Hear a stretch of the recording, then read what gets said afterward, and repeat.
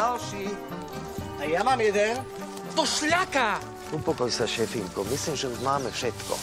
Ty mi vysvetli, ako je možné, že si si dal ten batoh na chrbát dole hlavou. Neviem.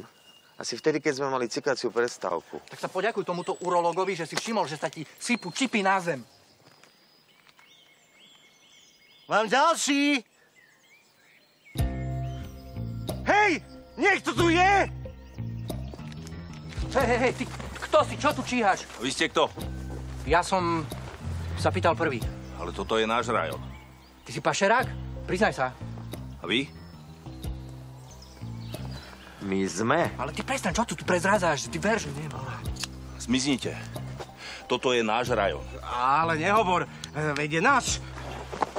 Každý predsa vie, že toto je Kalichov rajon. A ten, keď sa dozvie, že sa tu motáte, tak bude zle. Počkaj, počkaj, počkaj, ty pašuješ pre Kalicha? Hej, ty sa posral teraz, čo? Nie, nie, ja som sa nedosral, lebo aj my pašujeme pre Kalicha.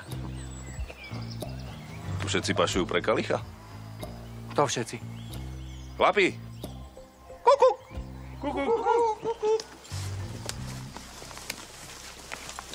Si, ale vás je, nie? Dosť. A je nás ešte viacej. A to prečo ste tu teraz akurát, keď aj my sme tu akurát teraz? Kalich povedal, že dnes nebude v lese ani jedna žandárska noha. Tak to treba využiť. No, tak sa majte. Tak... Uh, serus, serus, Chlapi, ideme. serus, serus.